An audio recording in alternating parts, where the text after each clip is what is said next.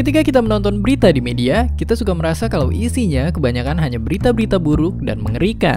Entah itu berita seperti kucing yang tak bisa turun dari pohon, perceraian seribu satu artis terkini, harga bakso yang terus melejit diakibatkan oleh korupsi pejabat negara beristri tiga, hingga ramalan meteor jatuh yang binasakan semua makhluk hidup termasuk Anda yang menonton video ini. Jadi, sebenarnya kenapa pemberitaan di media itu kebanyakan buruk? Apa penyebabnya?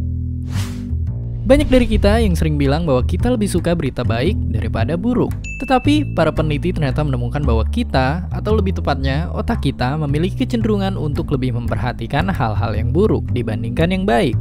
Hal ini disebut sebagai negativity bias.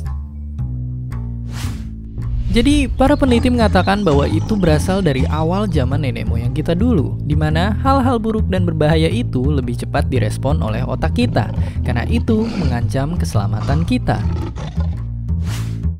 Menurut riset, bagian otak kita yang merespon hal-hal negatif bereaksi lebih sensitif daripada bagian otak kita yang merespon hal-hal positif. Hal itulah yang membuat otak kita hingga sekarang secara insting lebih tertarik memperhatikan berita dan kabar yang buruk, karena otak kita lebih sensitif terhadap hal-hal yang berpotensi membahayakan kita.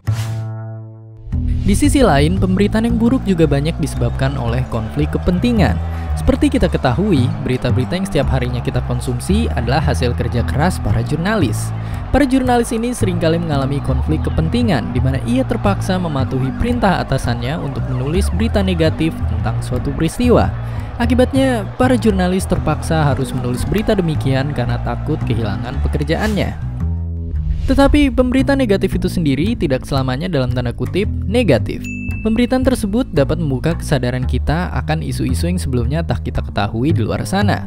Tetapi kita sendiri juga perlu mengasah kemampuan analisis kita terhadap segala sesuatu yang ditayangkan di media atau disebut sebagai literasi media. Literasi media dapat kita lakukan dalam kehidupan sehari-hari. Misalnya saat kita membaca koran, menonton televisi, atau mendengarkan radio, kemudian kita membandingkan satu berita yang disiarkan oleh beberapa media tersebut, lalu menganalisis perbedaannya. Setelah itu, kita membuat ulang kembali berita tersebut menurut pemahaman kita dan kita pun lebih kritis terhadap media karena menyadari berita itu ada karena dibuat. Jadi setelah menonton video ini, semoga kita tidak lagi hanya menggunakan koran sebagai bungkus gorengan kita, tapi juga mulai kritis dan peduli terhadap berita yang ada. Dan juga menyadari bahwa masih banyak hal-hal baik yang terjadi di luar sana. Dan seperti biasa, terima kasih. Hi, thanks for stopping by our video. Don't forget to comment, like, and subscribe.